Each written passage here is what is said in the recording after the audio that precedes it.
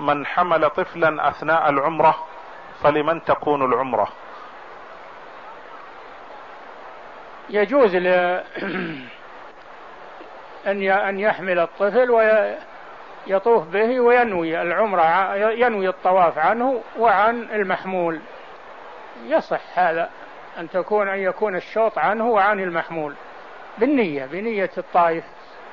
نعم.